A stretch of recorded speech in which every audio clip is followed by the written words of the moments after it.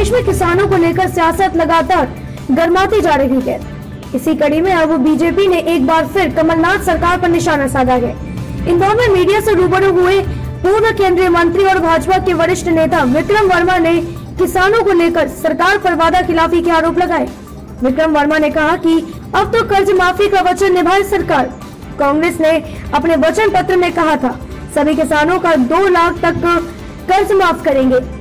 जिसमें सहकारी बैंक एवं राष्ट्रीयकृत बैंकों का चालू एवं कालातीत कर्ज शामिल रहेगा। कांग्रेस के तत्कालीन राष्ट्रीय अध्यक्ष राहुल गांधी ने वादा किया कि सरकार बनते ही 10 दिन में कर्ज माफ़ कर देंगे। नहीं, कर्ज माफ़ नहीं हुआ और न ही मुख्यमंत्री बदले गए।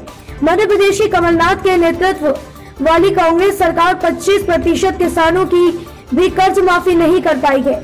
इस कारण किसान भरोसे में फ़सल बीमा सहित अन्य सुविधाओं से भी वंचित रह गया है। कांग्रेस ने अपने वचन पत्र में ज़ीरो प्रतिशत ब्याज योजना का वास्तविक लाभ देने का वचन दिया था। खरीफ ऋण की ड्यू डेट 31 दिसंबर तय करने का वादा किया था, लेकिन ऐसा अभी तक नहीं किया। मध्य प्रदेश के किसान को कालातीत घोषित कर दंड ब्याज सहित कर्ज की वसूली की जा रही है, तथा किसानों को सहकारी एवं राष्ट्रीयकृत पूर्ण ऋण वितरण भी नहीं हो पा रहा है। वित्त पोषण नहीं होने से किसानों का काम प्रभावित हो रहा है।